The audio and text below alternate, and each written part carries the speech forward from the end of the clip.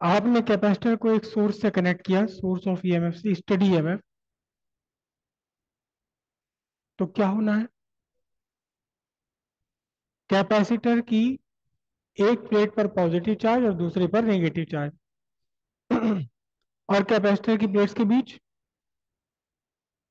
नहीं, कैपेसिटर के बीच, प्लेट्स के बीच का जो एरिया है, वहाँ क्या होता है? कैपेसिटर्स की प्लेट के बीच का जो स्पेस है, ये कैपेसिटर इन प्लेट्स के बीच का जो स्पेस है, यहाँ क्या होता है? हम्म? क्या? एक इलेक्ट्रिक फ़ील्ड स्टैब्लिश हो जाता है। एक्चुअल में आपने जो भी सोर्स लगाया है, उस सोर्स को कुछ वर्क करना पड़ता है, ये इलेक्ट्रिक फ़ील्ड स्टैब्लिश करने के लिए। और यही work done by the source यही work done by the source क्या होता है? जिसे हम कहते हैं electric potential energy of capacitor half C V square ये कौन सा वर्क है? हालाँकि पहले हम डेरिवेशन ये पूरे कर चुके हैं। This is the work simple सी बात है कि कुछ इलेक्ट्रॉन्स को सोर्स ने एक प्लेट से हटाया और कहा पहुँचा दिया? दूसरी प्लेट पर पहुँचा दिया। जिस प्लेट से हटा दिया इलेक्ट्रॉन्स को, इस प्लेट पर क्या पॉजिटिव चार्ज क्रिएट हो गया। जिस प्लेट पर पहुँचा दिया इसने, वहाँ निगेटिव चार्ज। और इस पॉजिटिव से निगेटिव के बीच क्या बन गया? एक इलेक्ट्रिक फ़ील्ड बन गया। ये इलेक्ट्रिक फ़ील्ड स्टैब्लिश करने के लिए ही सोर्स को कुछ काम करना पड़ता है, किस सोर्स को? जो सोर्स आपने यहाँ जोड़ा है। तो फिर सोर्स की energy, electric potential energy of capacitor में स्टोर हो गई। इसका फॉर्मूला इसकी equation half C V square अब कंडीशन देखिए आप इंडक्टर के लिए. एक आपने लॉन्ग सॉलिनॉइड बना ली इंडक्टर और इस इंडक्टर को आपने कनेक्ट कर दिया एक सोर्स ऑफ़ स्टडी ईएमएफ से. करेक्ट तो यहाँ करंट स्टैब्लिश हुई. हालाँकि इंडक्टर करंट के ग्रो को अपोज करता है, लेकिन करंट स्टैब्लिश हो गई. और जब करंट स्टैब्लिश हो गई तो क्या हुआ? इस इंडक्टर ने अपना एक मैग्नेटिक फ़ील्ड बना लिया। इस मैग्नेटिक फ़ील्ड को स्टैब्लिश करने के लिए इस सोर्स को कुछ वर्क करना पड़ा। Work is done by the source किस काम के लिए? To establish this magnetic field और यही work done by the source क्या हुआ? ये work done by the source ये आपका हो गया क्या? Magnetic potential energy of inductor inductor की मैग्नेटिक पोटेंशियल एनर्जी में कन्वर्ट हो गया। यही electric sorry magnetic potential energy store हो जाना ही रीजन है। कैपेसिटर और इंडक्टर के बीच चार्ज का एनर्जी का ऑसिलेशन होना। कि एक बार कैपेसिटर में एनर्जी स्टोर हो गई, जब तक कैपेसिटर खाली हुआ, तब तक कैपेसिटर की एनर्जी इंडक्टर में मैग्नेटिक पोटेंशियल एनर्जी की फॉर्म में। फिर मैग्नेटिक पोटेंशियल एनर्जी इंडक्टर से electric potential energy of capacitor में। और यही जिंगा जिंगा क्या कौन सा गेम, कौन सा होता है जिंगल बेल जिंगल बेल नहीं, कौन सा होता है गेम? उसकी तरह चलता रहता है और ऑसिलेशन पॉसिबल रहते हैं। तो अब कितनी एनर्जी स्टोर होती है किसी भी इंडक्टर में, इसका हम फॉर्मूला निकालेंगे। इक्वेशन फाइंड करेंगे। जैसे ही कैपेसिटर की इक्वेशन थी, क्या?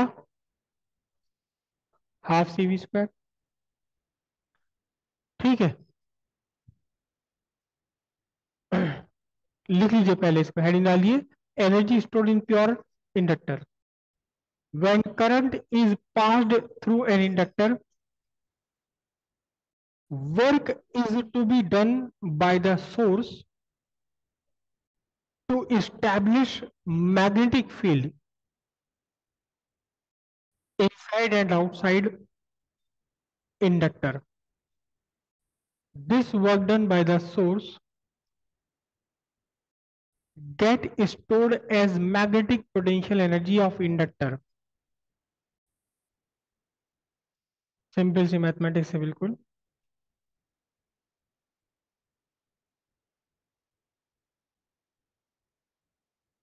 Let at instant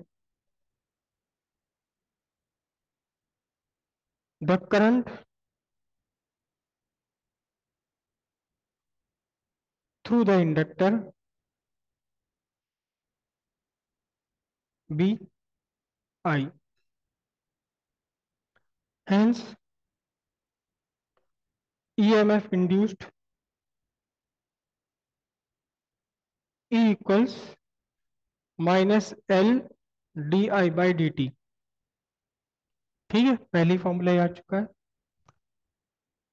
और जो इंड्यूस डीएमएफ है, कम से कम इसी के इक्वल आपका वोल्टेज भी होगा।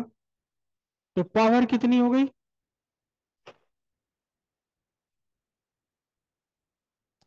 Instantaneous power is equal to E I तो पावर इज़ इक्वल टू अच्छा पावर का फॉर्मूला क्या होता है? पावर एक्चुअली क्या है? पावर है रेट ऑफ़ डूइंग वर्क ठीक है? ई e कितना है?